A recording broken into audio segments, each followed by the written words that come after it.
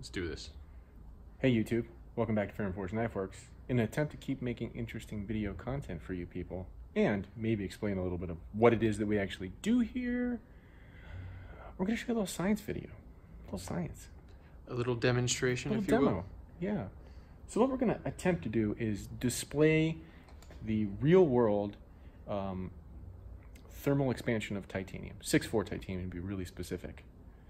So what we've got going on here to attempt to help show this is this really awesome setup that we spent a lot of time doing. And what we've essentially got is we've taken the LED and battery out of a little light. Maybe I'll turn it on. And we've deconstructed it. We've attached one end of the lead to a piece of titanium.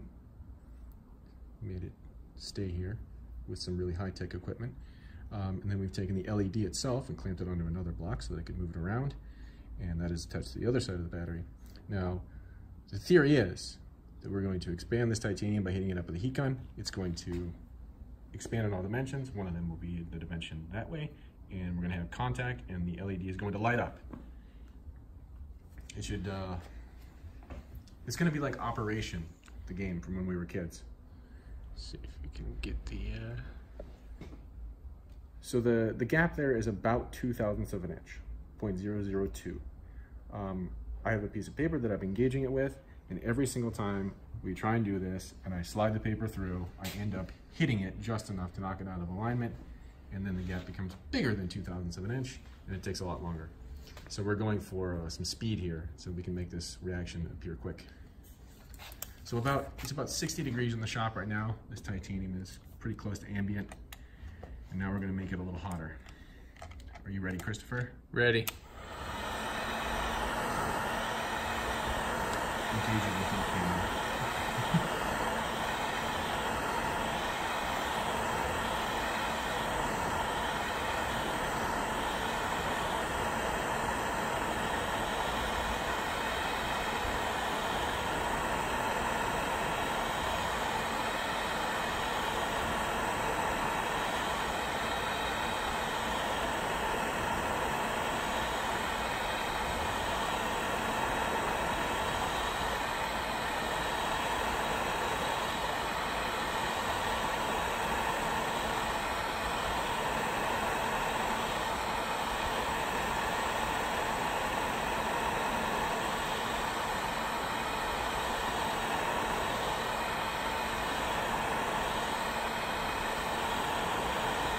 It's almost there.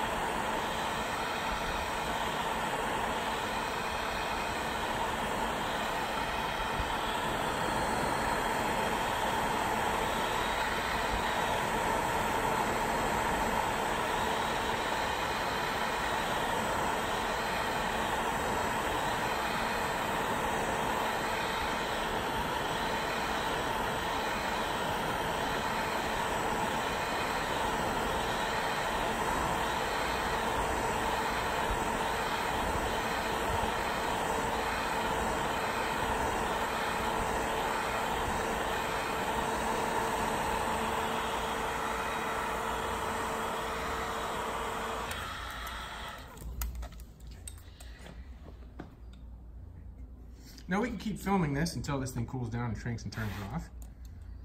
It's gonna take it a bit. I will, though. We'll keep it going if you want to, watch and, and go through. Well, maybe it's not gonna take that long. Hmm. I don't know, we've done this a couple of times. We've run it and, uh, oh, look at that. oh, no, you. We, we, are you sure? We could have cooled off pretty, pretty significantly. Maybe not.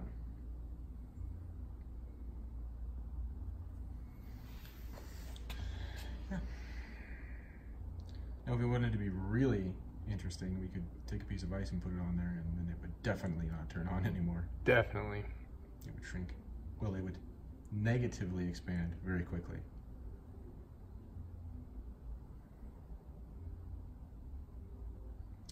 There we go. And we're done. We've got that. Oh. We're not done? Different rates of cooling? What? Hell you say, sir? That is, uh, that's my quick and dirty demonstration of the expansion of titanium. it's a real thing. And so we, we really only went up 40 or 50 degrees, and that kind of temperature fluctuation is quite normal from the cool of evening to the hot of midday. You can see some places 50 degrees of temperature change. So this is something that I actually have to keep in mind when I'm designing knives and when I'm setting the tolerancing in parts that interact with each other, especially when they're dissimilar materials. So trying to make things too tight uh, can result in uh, lack of function at various temperatures. Something to keep in mind all the time.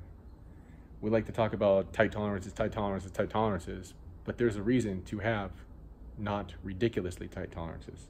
It aids in manufacturing and it accounts for the changes in the material that occur. Expansion, thermal expansion, is just one of the things that we're going to talk about in this series. Some of the other ones are going to be a lot harder to demonstrate for you, but we're going to try and talk about compression because that's a thing. All things have a modulus of elasticity, and we'll try and talk about that. It's going to be hard, but I think we can get there so you can understand some of the things that I have to think about as I'm designing something and making stuff. So I hope that was uh, fun. It was fun for us, making weird electrical contraptions. and um, as always, feel free to leave a like, subscribe, and keep checking us out. Um, Chris, have you been putting Instagram stuff in the Deebly Dupes? Uh, no, but I will. You should. In the Deebly Dupes. Yeah, the, the thing that's down there. It's right down there. The description? Yeah, that's yeah. the one. That thing. You've only been doing YouTube for how many years? I don't know. When did when did I start? When did when did I start doing? 11? 2011? Seven? I know. Six, How many years? videos do I have up there? Anyway. Like way over 100. Been making videos.